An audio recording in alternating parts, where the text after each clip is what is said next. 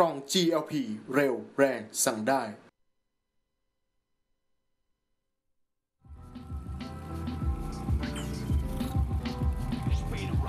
กลับเข้าสู่รายการ Speed Rider ในช่วงที่ 4 ครับ รายการสดๆ ที่จะมาพูดคุยเกี่ยวกับเรื่องราวของรถจักรยานยนต์รวมถึงการอัปเดตข่าวสารในวงการมอเตอร์สปอร์ตนะครับทุกนี้นะครับก็เปิดสายนะครับ phone in เข้ามาทางหมายเลข 0 2 5 3 0 9 4 9 6 98 แล้วก็ SMS นะครับทาง 4 8 2 7 7 7 2 พิมพ์สีเว้นวรรคตามด้วยคำถามของท่านนะครับก่อนอื่นที่จะไปพูดคุยเรื่องราวต่างๆ ก็ต้องขอขอบคุณผู้สนับสนุนใจดีของเรา นิตยสารรายเดือน Fast Bike Thailand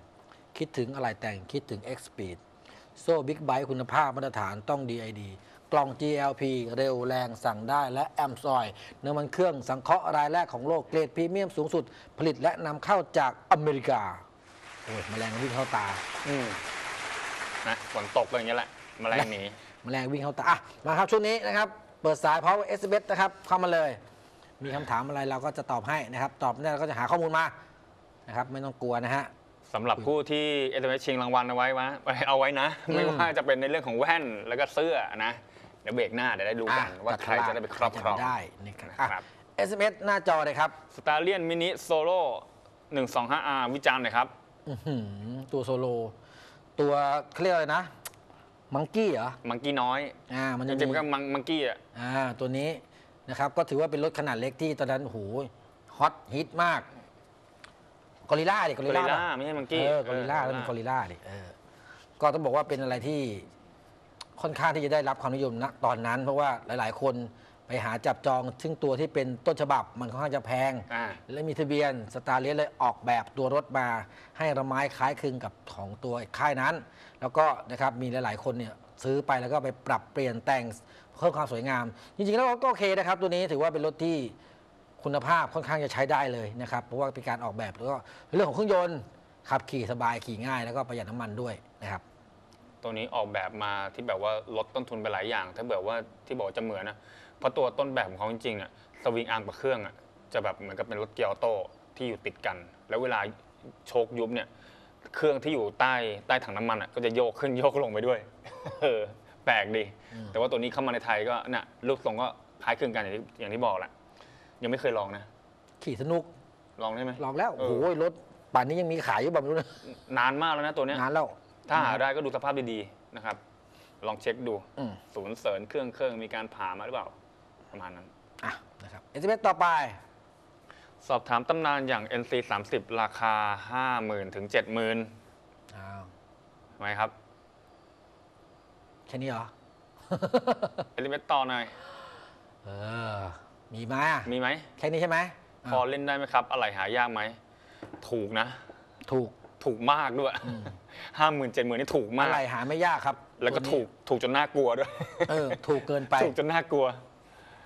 ก็จะมีร้านอะไรนะพี่ที่อยู่อะไรนะ พี่พี่ไก่ พี่ไก่ พี่ไก่อยู่ตรงนวมินทร์อืมนะใกล้ๆโรงเรียนสมภานั่นแหละ ตัวนี้เขาบอกว่าเป็นกูรูในเรื่องของ NC เลย ใช่ ว่าจะเป็นระบบไฟที่บอกว่าแก้ไม่ได้อะไรต่างๆนี่ไปหาพี่ไก่ แล้วก็ในเรื่องของอะไรลองไปปรึกษาดู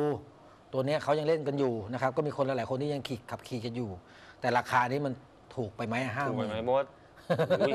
ถ้าเผื่อว่าเป็นสภาพที่ขี่ได้ทะเบียนพร้อม เออเดี๋ยวเรื่องขหอลักงทะเบียนแสนนะ เรื่องของทะเบียนเนี่ยสำคัญนะครับ จริงๆ ราคานี้ผมว่าไม่มีทะเบียนแน่นอนมัไม่น่ามีทะเบียน แล้วตัวรถก็อาจจะแบบไม่ได้สมบูรณ์แบบขนาดอืมแบบเจ็ดสิบแปดสิบแล้วอะน่าจะอย่างมีน้อยสัก ตัวเนี้ยปัญหาเรื่องแผ่นชงแผ่นชาร์จเนี่ย โอ้โหมาเป็นอันดับหนึ่งเลย นั่นแหละเขาหาพี่ไก่อะพี่ไก่น่าจะจบให้ได้ใช่ นะครับ บางคนก็เอามาแปลงนะ แปลงใส่ไฟลิ่งของอาจารย์เกษมนะ แปลงแบบเป็นเหมือนกับดุคติใช่มากแปลงเยอะ แบบเบียนไม่ชิวมากเลยเออ ทางมันเยอะนะครับ ใช่ ถือว่าเป็นรถที่ได้รับความนิยม ถ้าได้ราคานี้มาจริง ๆ นะ และสภาพมันขับขี่ได้ว่างั้นเถอะ สภาพขี่ได้ ถึงแฟลิงอาจจะมีหลุดลุ่ยหรือว่าอะไรบ้างก็มันอันนี้ไม่ไม่เท่าไหร่หรอกนะครับ แต่ขอให้มันขับขี่ได้อะไรเงี้ยมันจะปลุกง่ายหน่อยอ่ะนะครับก็ลองดูแต่ถ้าไม่ซีเรียสนะว่าแบบว่าขับ แล้วจะโดนจับหรือเปล่าหรือว่ากล่าวนี่ไปแหละขี่นั่นเออสำคัญตรงนี้แหละมันไม่มีทะเบียนนี่แหละ ยากนะเอาไปขับขี่เจอด่านก็โอ้โหใจเต้นตึกตักตึกตักตึกตักถ้าโดนไปนี่ยึดรถเลยนะ ทุกวันนี้กฎหมายมันแรงนะครับในเรื่องของรถไม่จดทะเบียนเออใช่เพราะฉะนั้นก็ถ้าจะเล่นก็เล่นได้ราคานี้ ขอให้มันรถสตาร์ทมาติดก่อนแล้วกันเนาะจะได้ปลุกง่ายๆหน่อย ไม่ใช่เอามาเป็นซากก็ลำบากไง เก่าๆนี่นะ ถ้าแบบว่าขาดการดูแลรักษาที่ดีนะสังเกตเลยว่าระบบคาร์บระบบไฟเนี่ยสองตัวเนี่ยสตาร์ททีสมมติว่าระบบไฟดี ระบบคาร์บก็จะวิว วิวมันจะวิวไปไหนนะเออ มันจะวิวไปไหนทีนี้ อะลองซื้อมาลลอองงดูลองดู ปรึกษาพี่ไก่ดูใช่อืมน่าจะได้รับอะไรดีๆ เพราะว่าพี่ไก่เขาเป็นกูรูเรื่องของตรงนี้อยู่เพราะว่าเขาใช่เขาบอกว่าเขาเจ็บมาเยอะอะกว่าจะกว่าจะมาจบได้กว่าจะหาอะไรนะอะไรแก้ปัญหาตรงนู้นตรงนี้ได้เขาโอ้โหนานมาก อะตรงนี้ก็ยินดีเป็นสื่อกลาง ถ้าครับเผื่อว่าอยากจะติดต่อกันจริง ๆ หรือว่ามีเออ ปัญหาอะไรยังไง ติดต่อเข้ามาได้นะครับมาครับ อะอะงบไม่เกิน 50,000ครับมีออโต้ตัวไหนเหมาะแก่การเป็นรถก็แก่การเป็นรถอะไรที่ใช้ในออฟฟิศบ้างเยอะแยะครับ โอ้ห้าหมื่นเยอะมาก ราคา 5 0,000 นี่สกูปปี้ก็ได้นะครับฟิโน่ก็ได้ อ่าแล้วถ้าเป็นมีแบบโอ้ว่าสไตล์ก็สได้ ปอร์ต มีเอาตัวเมติกสปอร์ต Automatic อะ Sport ก็ก็มีโอ้ไงคิกคิกไงอ่าคิดมีก็โอ้ได้ คิกก็ได้ มีเยอะหลายตัวแก นฟิเลโนก็ได้อ่านะครับ เยอะห้าหมื่นนี่เยอะ เยอะแยะครับ อืม อยู่ที่ว่าความชอบและชอบทรงไหนรูปทรงแบบไหน ยี่ห้ออะไรนะครับตอนนี้ออโตเมติกก็แข่งขันกันแค่ 2 ยี่ห้อนั่นแหละก็มียามาฮ่ากับฮอนด้าแต่ทำไมใช้ในออฟฟิศเอาไว้ใช้งานจริง ๆ ไม่ใช้อในยู่ออเป็นฟรถฟิศเกียร์อล่ะอฟฟิศกว้างขนาดขับรถได้เลยเหรอไม่ฮะ ใช่ ไม่ใช่อย่างนั้นอ๋อเหรอหมายถึงว่าเป็นรถของออฟฟิศอ๋อ เออนึกว่าไปใช้ในออต้อฟงฟิให้ศแก้อีกแล้วเนี่ย นึกว่าออฟฟิศใหญ่มากไงเออเออเออ ไปใช้ขี่บนโต๊ะนู่นระวังชนเก้าอี้เขาแล้วกันแต่จริงๆ ถ้าแบบเห็นหลาย ๆ ออฟฟิศนะ ที่เขาที่เขาจะใช้เป็นรถเนี่ยน่าจะใช้เป็นรถมีเกียร์มากกว่า เพราะว่าอย่างแรกเลยคือในเรื่องของการประหยัดเชื้อเพลิงอืมอย่างที่สองคือจุดยึดต่างๆเพราะยกตัวอย่างเช่น ถ้าเผื่อว่าเขาเอามาเป็นรถอาจจะแบบมีกล่องใส่ของด้านหลังอะไรอย่างเงี้ยมันจะมีจุดยึดที่แบบเอื้ออำนวยกว่า ที่จะใช้แบบเป็นรถเกียร์ออโต้ลองพิจารณาดู แต่ถ้าแบบว่าอยากจะแบบได้เทรนด์ ก่อนแนะนำเป็นออโตเมติกสไตล์สปอร์ตดีกว่า เพราะว่าจุดยงจุดยึดอะไรมันมีเยอะเผื่อที่จะเอาไปใช้งานมันสะดวกหลากหลายมากกว่า โอเค แนะนำมาถ้าแบบคิกกับ GT m i o อ่า GT ใช่นะครับผมอะอยากทราบว่ากล่องช่างกิ้งใช้กับ PCX รุ่นไหนครับโอ้ทั้ง 125 150 ได้ครับได้เพหมดราะว่าเลยสูบเดียวเนี่ยสูบเดียวได้หมดเลยครับ และแนะนำไปเป็นกล่องเหน็บ2จริงบอกเลยว่าเป็นกล่องเหน็บ2ที่ดีสุดแล้วสำหรับตอนนี้ที่ขับรถกันแล้วก็มันใช้ง่ายนะครับ มีปลั๊กแอนเพย์ไม่ต้องไป ตัดต่อให้มันยุ่งยากนะครับราคาเท่าไหร่นะ ราคา 980 บาท ตอนนี้โปรโมชั่น 690โอ้โหเป็นไงล่ะ15 วันเท่านั้น รู้ยันโปรโมชั่นอะนี่เมื่อวานมาไงโปรโมชั่นพิเศษถ้าเผื่อว่าพี่กิ๊ก15 วันเท่านั้น พี่กิ๊กได้ฟังอย่างนี้แล้วนะฮะ คงจะทราบแล้วนะครับว่า brand ambassador คนต่อไปของกล่อง GLP คือใครนะครับ สามารถให้ข้อมูลได้หมดนะครับ ตอนนี้อยู่ในโปรโมชั่นเออ15 วันก็ว่ากันไปนะครับลองเข้าไปดูในในเพจของพี่กิ๊กเองแล้วกันนะครับอืม GLP Thailand น่ะ GLP นะครับ นะครับแล้วก็ไปอินบ็อกถามดูว่าราคานี้ใส่กับตัวนี้ส่งเท่าไหร่นะครับอืม พี่กิ๊กก็จะตอบได้ผมต้องบอกว่าล่าสุดก็แกมีกล่องหอบมา อ่าเดินหอบเดินเดินหหออบบเดินหอบ คือจะเป็นกล่องเฟกอะเหมือนกับว่าใส่เข้าไปแล้วจะเหมือนกับรถทำแคมทำไฟมาอ่าจัดให้รอบเครื่องยนต์ดึงไม่มีผลเสียเลยนะไม่มีไม่มีเออนั่นนะบิดออกไปก็เหมือนเดิมนะครับ ใช่ แค่รอบเครื่องยนต์มันจะเดินหอบไปเฉย ใช่เป็นสายหลอกสายหลอกนึกว่ารถแรงเปล่าเราเลยครับไม่ใช่นะผ่อนคันเร่งฮะแล้วไม่กำคัดรถจะพังเร็วไหมผ่อนคันเร่งไม่กำกับโอ้ไม่เป็นไรครับ แต่ว่าไอ้ที่จะพังเนี่ยคือเขาเรียกอะไร คือมันไม่ถูกไม่ถูกในเรื่องของการขับขี่ การขับขี่เนี่ยมันไม่ควรที่จะไม่ควรจะไม่ควรจะกำคัดไม่ว่าจะทางตรงหรือในโค้งคลัตช์เนี่ยมีเอาไว้แค่ออกชะลตัอวเบรก นะอะออกใช้ตัวออกตัวแล้วก็อืมแค่เปลี่ยนชะลอเกียร์ถ้าเผื่อไม่มี shifter เปลี่ยนอ่าเกียร์แล้วก็ ตอนจะดับตอนเบรก ตอนเบรกแค่นั้นเอง เพราะว่าถ้าได้ไปเรียนจะรู้ ใช่ เวลาเขาสอนเนี่ยออกตัวปล่อยคลัตช์ แล้วคุณยังไม่ต้องมายุ่งคลัตช์อีกเลยอืมแค่เปลี่ยนเกียร์แล้วกลับมากำแฮนด์เปลี่ยนเกียร์กลับกำแฮนด์เราจะเบรกปุ๊บกดเบรกหน้าเบรกหลังปุ๊บพอรถชะลอปุ๊บค่อยกำคลัตช์ ใช่ อันนั้นคือการขับขี่ที่ถูกต้องอืมเพราะว่าบางคนเข้าใจผิดไงคือพอกำคลัตช์ปุ๊บเขาวเนี้ย engine brake ไม่มีใช่เข้า engine โค้ง brake ไม่ได้เข้าไหลโค้งไม่ได้เลยนะนะครับมันเหมือนกับขาดแรงโมเมนตัมที่มันควรจะเป็นอะ เพราะฉะนั้นเนี่ยไอการที่แบบว่ามีมีเอนจินอยู่ในมือเนี่ย มันสามารถที่คุมได้ว่าจะยกหรือว่าจะเปิดจะเปิดอืมเอออะนะครับอย่าไปไม่เป็นไรครับกำคัดตรงนี้ปกติครับอืมผ่อนคันเร่งปล่อยให้คัดทำงานเออไม่เป็นไรหรอกแล้วก็ค่อยเชนเชนลงมาแล้วก็เบรกจบนะครับรถไม่พังหรอกแต่ว่ามันอันตรายแค่นั้นแหละอืมเอออะมาดูไอเมต่อไปรถบอบลูก 48 มิลคาบูเคเหลี่ยม เวลาเครื่องโอ้โหลูกใหญ่เนี่ย เวลาเครื่องร้อนแล้ววิ่งไม่ออกเป็นอะไรครับ รถป๊อกกระบูแล้วลูกโตอะรถบอบลูกอะไรนะลูก48 ลูกสี่แปดลูก48ลูกลูกแดดลูก l อลเลยนะอ่าแล้วขบูเหลี่ยม แล้วเววิ่งลาไม่ร้อนวิ่งไม่ออกเวลาร้อนวิ่งไม่ออกเป็นรถป๊อปด้วย โอ้โห อย่างแรกเวลาร้อนวิ่งไม่ออกเป็นเพราะอะไรก็นั่นแหละมันโอเวอร์ฮีทไงก็มีส่วนคำตอบก็ลูมีกอยู่มัในนโตตัวเองไป ลูกมันโต ลูกโตโอ้โหยจะแสดงว่าขี่โหดมาก คือแป๊บเดียวมันก็ร้อนอยู่แล้ว เพราะส่วนมากรถลูกโตเนี่ยเขาจะแค่เหมือนกับ ขี่ไปเดี๋ยวประดาวหรือว่าใช้สำหรับการแข่งขันใช่ปุ๊ดกลับมาแล้วก็ดับเครื่องปล่อยให้เย็นแล้วก็ไปขับปุ๊ดใหม่ แต่จะเอาลูกโตขนาดนี้มาขี่ใช้งานทั่วไป ขี่ได้ครับ แต่ให้รอบบางๆ ขี่เรื่อยๆอะแต่ถ้าแช่แช่ออกไฟแดงแช่แช่ต่อให้ไม่เป็นออโตเมติกครับเป็นรถเกียร์ทั่วไปเป็นหรือเป็นออโตเมติกทุกวันเนี้ยที่ใส่ลูกโตอะเป็นเหมือนกันนะครับอะแล้วที่สำคัญคือเครื่องยนต์อะมันอยู่ด้านหลังด้วย เวลาที่แรงลมมาเนี่ยมันไม่ได้เข้าไปหล่อเลี้ยงมากไม่นี่มันตัวนั้นรถป๊อป บอกถูกมากมันเป็นมันระบายความร้อนอากาศ แล้วป๊อปอืมใช่ใช่ไหมแต่ป๊อมัปนเรื่องอาหารอากาศจนตอนหลังอะเขาถึใส่แว่นมีชุดแต่งมาจากพวกไต้หวันเกาหลีอะที่แบบว่าทำเป็นฝาครอบเสื้อสูบมาแล้วก็เชื่อม ใช่แล้วก็เป็นมีท่อระบายระบายความร้อนด้วยน้ำแล้วก็ต่อต่อ โผล่มาไว้ด้านหน้า ให้ระบาย ให้ระบายนั่นน่ะจริงๆคำตอบนั่นอยู่ในตัวเอง อืม อย่างยกตัวอย่างเช่น อย่างวันนั้นจำได้ไหมาที่พี่อ้นมา แล้วอย่าง KR เนี่ย อืม ระบบระบายความร้อนด้วยน้ำอยู่แล้วอะ ต้องแต่ใส่รถเขาปั๊มติ๊กอ่ารถเขาแบบรอบจัดใช้ไงรถแข่งไง เออรถแข่งเขายังต้องใส่ปั๊มติ๊กเพื่อที่จะให้มันหมุนเวียนได้อย่างดีได้อย่างเร็วเลยใช่ อ่าแล้วพี่อ้นพี่อ้นก็เข้ามาพอดี นะครับเอออะประมาณนั้นประมาณนั้น GSX 750 กับ Z 900ตัวไหนน่าเล่นขี่ทางไกลออกทริปได้ทั้งสองแหละ คนขี่สูง 163 เหลือเฟือ ได้หมดอะได้หมด อืม อยู่ที่ว่าความชอบแล้ว ราคาอยู่ที่ 376 นะครับสำหรับตัว GX อืม 750 ถ้าเป็น Z 900นี่399,000 บาท แต่ GSX นี่มีออปชั่น มีในเรื่องของ traction โหมด control อ่ามมาให้ โหมดซึ่งเป็นรถขนาด 700 หรืออะไรประมาณเนี้ยขนาดกลางที่มี มี traction traction control รุ่นเดียว ใช่ ในนะครับส่วนของ Z 900ไม่มีไม่มีไม่มี traction แต่ว่าไม่มีมี slipper cut อ่ามี มี ABS เป็นพื้นฐาน อืม ABS ก็มี GX ก็มี อืม แต่สลิปเปอร์คัตไม่มี อ่าใช่ แตกต่างนั้น แตกต่างที่ GSX จะมี slipper ได้ cut ทั้งสองตัวครับ ราคาต่างกันประมาณสามหมื่นอืมราคาต่างกันสามหมื่นซื้อ GX มีเงินซื้อท่อสลิปออยหนึ่งชุด อืม ถ้าซื้อตัว Z 900 ในราคา 3 9 9 0 0 0บาทก็ต้องไปซื้อท่อยก็ตก 4 0 0 0 0 0กว่าบาทแล้ว ก็ลองคิดดูคำนวณตังค์ดูครับ แต่ถ้าในเรื่องของความเร็วความแรงแน่นอนว่าซูซูกิในรอบต้นได้เปรียบ ได้เปรียบนำไปก่อน แต่ว่าในตัว Z 900เนี่ยตีนปลายเขาจะมาโอ้โห มาแบบโหดมากด้วย มาโหดมาก 4 5 6นี่เตะหน้าฟัด เตะหน้าฟัดเลยบอกเลย ในเรื่องของการสมรรถนะการเข้าโค้ง ถึงแม้ว่าไอ้เจ้าตัว GSX เนี่ยจะเข้าโค้งที่ค่อนข้างยาก แต่ว่าเขามีในเรื่องของระบบการสะเทือนหน้าแบบ upside down เป็น option ที่เข้ามาที่น่าสนใจที่มันซับได้ดีกว่า แต่ว่าในส่วนของความเบาของ Z 900 ถือว่าได้เปรียบนิดนึง มันจะดีจะเสียคนละอย่าง อืมอืมแต่ว่า Z 900 ต้องบอกว่าเป็นรถที่พลิกพลิกพลิ้วง่ายก็แต่ดูในอือ่ามแต่ในส่วนของ GSX เนี่ยคือ เข้าโค้ง high speed อะมันจะนิ่งนิ่งกว่ารถน้ำหนักไงใช่รถน้ำหนักกว่าหนักกว่านะครับทำให้การควบคุมในโค้งอะค่อนข้างจะเสถียรส่วนตัว Z 900 เนี่ยมันเบานะครับเพราะฉะนั้นต้องระวังในการขับขี่ในเรื่องของรอบปลายรอบความเร็วที่สูงสูงๆเพราะเราขี่มาแล้วเนี่ยเราบอกเลยว่าต้องใส่กันสะบัดช่วย ถ้าไม่งั้นเราฟัดตลอดเวลามันอันตรายนะครับ คือ Z 900 มันไม่ใช่ 900 ทุ่นๆ มันเป็นตัวที่แบบลดมาจากพันซีซีลงมา ใช่ มันไม่ใช่แบบว่า หลาย ๆ คนคิดว่าเอาเครื่อง 800 มาโมดิฟายไม่ใช่ เพิ่มขึ้นไม่ใช่นะจริงๆมีรถเครื่องพันซีซีนะครับลัดโตมาทำเป็นตัว 900 ซึ่งซีซีจริงมันอยู่ที่ 948ซีซีอ่าอ่าประมาณนั้นนะครับอยากได้รถที่เดินรอบยาวๆ ลึกๆนะครับเวลาขี่ทางไกลๆเนี่ยก็ไปที่ Z 900แต่ชอบแบบ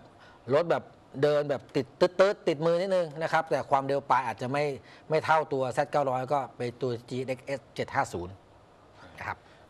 Honda Sonic ครับ ลูกบอสชัก 14 ขับไกลได้ โอ้โห ยืดชักด้วย แล้วก็ลูกบอสด้วย ถ้าเผื่อว่าลูกบอครัสบไกลขนาดไหนอะ เออ ไกลแบบข้ามจังหวัดก็ไม่ไหวเหมือนกันนะ เพราะนี่มันสไตล์รถแข่งแล้วนะ รถพวกเนี้ยถ้าเผื่อว่าใส่ชักโง่สิบขนาดสี่นี้นี่นี่ลูกโตขนาดลูกบอสนี่มันเป็นรถแข่งชัดๆ เอาไปใช้ท้องถนนทั่วไปนี่ ขี่ได้ไม่เกิน 2 โลคุณก็ต้อง รถมันก็สถานหมดแล้วมั้งต้องนะครับ ทำส่วนอื่นเข้าไปเยอะพอสมควรนะไม่ว่าจะเป็นโอ้ย ระบบระบายความร้อนด้วยน้ำของเขาเนี่ยอาจจะต้องมีการขยายหม้อน้ำให้ใหญ่ขึ้น แล้วก็อื้อหือก็ยังอีกอะยาก ก็ต้องต้องขับไปพักไปอะใช่ ไม่ค่อยมีความสุขหรอกไปได้ความเร็วไม่สูง ไปขี่ได้ขับห้ามใช้รอบสูงเออรอบสูงมากๆนี่หูเครื่องฮีทแน่นอนมีติดอะนะครับ เพราะว่าด้วยลูกขนาดลูกถ่ายลูกบาสแล้วลูกอะไรลูกบอสลูกบอสโโหลูกบอสนี่ถ้าชัก 14 โอ้โห ไปกลับ คือบันเทิงคืออะถ้าชักเดิมแล้วลูกบอสนี่ก็ซีซีก็เกือบ 200ก็แล้วอันนะอันก็ถ้าชักเดิมยังดียังดีกว่า ใช่ นี่ยืดอีกนี่ยืดเข้าไป14มิล7ตายมิลไปกลับ โอ้โหเจ็ดมิลนี่ ฐานเสื้อนี่หนาขนาดนี้อะอืมจริงๆก็ขี่ได้ แต่ความเร็วอาจจะไม่สูงมากนัก เออ ถ้าทำไปแล้วเนี่ย แต่ด้วยสเปคตรงเนี้ยผมมองว่ามันเป็นสเปคของรถแข่งเลยเนี่ยเออถามว่าขี่ได้ไหมขี่ได้ แล้วรถแข่งทางตรงด้วยดิใช่ไม่ใช่เลสซิ่งเออทางเพราะถ้าตรเลง สซิ่งไม่ไม่ไม่ Racing มุกขนาดนี้ เรซิ่งไม่มียืดโชว์ยืดชักหรอกใช่ เขายิ่งเอาต้นจัดจัดๆอันนี้โอ้โหนี่เดินปลายยาวๆเลยอะอะ อะแนะนำท่อ Z 3 0 0เสียงดีๆ ให้หน่อยครับผม Z สามร้อยก็มีตัวของคอนแทคของเขาอะเออ Akrapovic อะ Yoshimura Yoshi Devil อ่า Devil ซึ่งตรงรุ่น ใช่ตรงแล้วก็ตรงรุ่นมันดีอย่าง เพราะว่าไม่ต้องแปลงมีเออมีไม่ต้องแปลง มีมีการเซ็นเซอร์คำนวณมาแล้ว เขาขึ้น run dyno มาแล้วว่าเออมันใช้อย่างนี้อย่างนี้ มีตัวเซ็นเซอร์ O2 สามารถเสียบใช้งานได้เลย ไม่ต้องไปแปลงนู่นนี่นั่น แต่ถ้าอยากได้ท่อยี่ห้ออื่นมันก็มีเยอะนะครับ เราจะไปแต่มันเอามาก็ต้องมาแปลงในเรื่องของคอท่อนู่นนี่นั่นทำให้มันเหมาะกับตัวรถ แล้วก็ต้องไปขึ้น dyno มันสูตรนี้มันใช้ได้ไหมมันถูกไหมเนี่ยอย่าง Yoshimura เนี่ยมันก็มีขายในศูนย์อยู่แล้ว เออ Akrapovic มันก็เป็นอะไรนะเป็น partner official อ่าซึ่งมีใช่ ขายในศูนย์อยู่แล้วเหมือนกัน ใช่ เออเพราะฉะนั้นแนะนำสองตัวเนี้ยมันตรงรุ่นแล้วก็เรื่องของแรงม้าที่แรงม้าแรงท้องที่เขาตูนมาแล้วเนี่ยมันก็ตรงง่ายสำหรับการที่จะขับขี่นะ เออประมาณนั้น แต่ราคามันก็ก็หลักหมื่นอยู่นะ หลักหมื่นอยู่หลักหมื่นสำหรับนะ ตัว Z 3 0 0นะ แต่ก็ถือว่าไม่แพงนะ ก็สมกับราคาของเขาแหละใส่ก็อยากให้ใส่เป็นฟูลไปเลย อืมอย่าไปใส่สลิปออนเลยตัว 300ฟูลไม่แพงหรอก นะคเพรับราะว่าสลิปออนนี่พอมาใส่ปุ๊บแน่นอน พอถึงช่วงแบบสุดคันเร่งอะมันจะตันเร็วอืมพอมันก็ตันมันปุ๊บช่วยอะไรแล้วไม่ได้มาก แล้วมันถอยหลังเลย แต่ถ้าท่อฟูลมันมาปื้ดแล้วมันอะไปหลายตัวๆนี้เป็นออสตินนะครับอืมเออามาดูเอเวต่อไป มีไหมเอ่ยสามารถโทรเข้ามาพูดอะคุยโทรใช่มาทักทายได้นะครับ 025309496ถึง98 หรือว่าเอสเมาที่เบอร์ 4827772 พิมพ์สีเป็นวรรคตามในข้อความครับผม Honda รุ่น Fusion 250 มีคนเล่นไหม มีนะ แต่น้อย น้อยมาก Fusion อาจจะมีสไตล์แบบเหลี่ยมแค่ไม่เห็นนะไม่เห็นเลยด้วยทๆอืมำน้อยมาก เป็นเหลี่ยมแล้วมี คือเขาจะเป็นเหมือนกับ Yamaha Maxim ที่แบบทรงเหลี่ยมๆ เหมือนไม่ได้ว่าเหมือนเขาเรียกว่าเหมือนทรงลงศพนะเออสองสองตัวนี้จะทรงคล้ายๆกัน เออ เนี่ยนะจะเป็นเหลี่ยมเขาเรียกอะไรวะผมก็เรียกเขาเขามีเขาเขามีชื่อเรียกมันอยู่อะจำไม่ได้เหมือนกัน อืมๆประมาณนั้น ตัวนี้มัน แต่เขาแต่คนที่เล่นส่วนมากเขาจะเอามาโหลดสไตล์โหลดสไตล์ เตี้ยๆต่ำๆเลยเออแต่ก่อนในเชียงกงจอดเยอะมากเยอะมากปทุมวันน่ะนะครับ ตอนนี้มันไม่ค่อยมีคนเล่นน่ะ แนะนำไปแถวๆคลองถมหรือว่า search เข้าไปที่เบิ้ลเบิ้ล big scooter อืม เออขานั้นเขานำเข้ามาเยอะอืมนะครับแต่มันเป็นรถเก่านะรถเก่ารถเก่า อืมไม่ใช่รถใหม่นะครับ เห็นเห็นบ้างเป็นเวลา งานอย่างงานมอเตอร์โชว์อย่างเงี้ยอ่า อ่าอาจจะเห็นการรวมตัว แต่ถ้าเห็นบนท้องถนนแบบเห็นบ่อยไหมโอ้โหแทบไม่เห็น แล้วแล้วเวลาเขาแต่งก็ชอบแต่งกับโหลดเตี้ยๆต่ำๆใส่ล้อตัวโตโลไรเดอร์อ่าประมาณนั้นนะครับก็มีคนแต่งเยอะใส่แสงสีเสียงใส่ลำโพง เออ ติดไฟอะไรอย่างเงี้ยก็มีคนเล่นอยู่นะครับแต่ไม่ค่อยได้เห็น เรื่องของราคาก็เราก็ไม่ทราบเหมือนกันตัวนี้ เพราะว่าเราไม่ไม่รู้จริงๆว่ามันยังยังมีอยู่ในกระแสหรือเปล่าครับ เออมันมีอะ รถเก็บซะส่วนใหญ่ ไปต่อพีเล็กครับ 2016 ตอนนี้ราคาปัจจุบันเหลือเท่าไหร่แล้วเหรอครับ 2016มันเล็กตัวละ50บออะเดี๋ยวมาต่อต่อ ยังน่าเล่นไหมหรือว่ารอตัวใหม่ดีอ๋อ2016 ก็คือตัวเดี๋ยวเลยตัวล่าสุดก็เป็นขาวขาวส้มไม่ใช่เหรอ ก็นี่แหละก็2016ก็ตัวเออปีแล้วนี่แหละนะครับไม่ใช่ตัวขาวส้มดำส้มอืม ที่เป็นสีด้านอะ ก็ยังมีคนเล่นเยอะอยู่นะ ก็เป็นตัวล่าสุดของเขาราะราคามันดีดไปบางร้านนี่ที่เราที่เราเป็นกระแสอยู่ก็คือหนึ่งแสนบาท เป็นแสนเลย กระแส อันนั้นอันนั้นคือเขาบอกว่าเป็นราคาซื้อสดซึ่งซึ่งไม่อยากปล่อย เขาไม่อยากปล่อย อืม ตาม dealer ส่วนใหญ่อะจะไม่ชอบที่จะขายราคาสดสักเท่าไหร่ ใช่ เขาชอบที่จะขายราคาผ่อนเพราะว่าจะได้มี connection อะไรกับทางไฟแนนซ์เรื่องในของการต่อรองดอกเบี้ยดอกมุ่งดอกเบี้ยอะไรอย่างนี้ อืม เพราะฉะนั้นเขาเลยอะไหนไหนๆก็อยากจะซื้อสดก็นั่นแหะกำไรจากที่จากที่ผ่อนเนี่ยก็ เอามาขายอะเออนั่นเพราะแหถ้าละขายสดเขาไม่ค่อยได้กำไรประมาณถูกนั้นแหต้อละงเขาก็เลยดีดราคาให้คุณแบบไม่อยากซื้อสด ซื้อผ่อนไหมอะไรใช่ประมาณนี้ มันเป็นกุศโลบายในการขายนะครับ ส่วนถามว่าจะรอตัวอื่นไหม ผมมองว่าหลายๆอะไรเรียกว่าแบบมันมันมันเพิ่งจะเปลี่ยนในเรื่องของไฟท้ายมาเปลี่ยนในเรื่องของหน้าเรือนไมล์มา มันไม่น่าจะยังจะเปลี่ยนเป็น new model เพราะฉะนั้น ผมมองว่ายังมีมันสัก อีกหนึ่งปีหรือปีกว่าๆถึงจะเปลี่ยนเพราะฉะนั้น ถ้าอยากจะรีบใช้ก็ยังใช้โฉมนี้ก็ยังหล่ออยู่ ยังสปอร์ตอยู่นะครับสำหรับ PCX 150 ตัวนี้ ราคาก็ยังเล่นได้ไม่แพงแล้วก็ของแต่งเยอะอะไหล่ก็ถูก เพราะฉะนั้นน่าสนใจครับกับ PCX ตัวนี้จัดไปมาดูเอลเวสต่อไปจตื่ดึงตื่ดึง มีไหมเอ่ยวันนี้อากาศเย็นนะวันศุกร์อืมสงต้นสัยเดือนสงสัยวันศุกร์นี่ เลิกงานแล้วก็สงสัยจะไปหาร้านรับประทานอาหารเย็นกัน นะครับก็เลยไม่ค่อยได้มาดูเราใช่ไหมใช่เออไม่เป็นไรอ่าอย่างไงยังไงเราก็อยู่ทุกวันนะจันทร์ถึงศุกร์นะครับใช่เวลาเดิม 18นาฬิกา30นาทีถึง 20นาฬิกา40นาทีครับ ทางช่อง Speed Channel ทุกชั่น